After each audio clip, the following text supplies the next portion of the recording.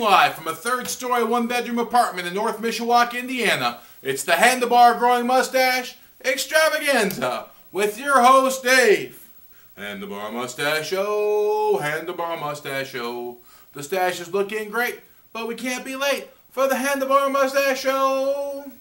Welcome back to day 349 of my Handlebar Growing Mustache Extravaganza, Super Monday edition. Well, it's always sort of a letdown after the big Super Bowl.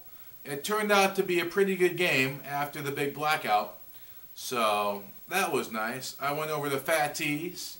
We had a bunch of delicious ribs and shrimp and crackers and cheese and chips and dip and vegetables. Oh, so good.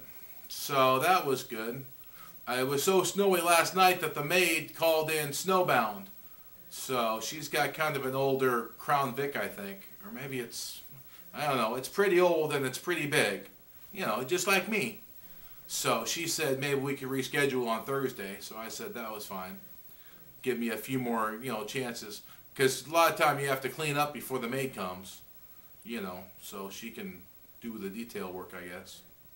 So that's good. I saw a picture of that looked like me and Bladecki with big old beards. I think they were getting gay married, but I'm not exactly sure.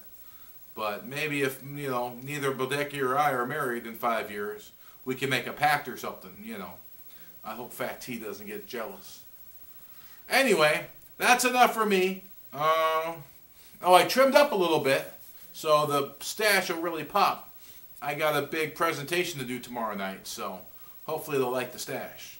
All right, keep it uh, classy, interweb. And until I see you tomorrow, I bid you all adieu.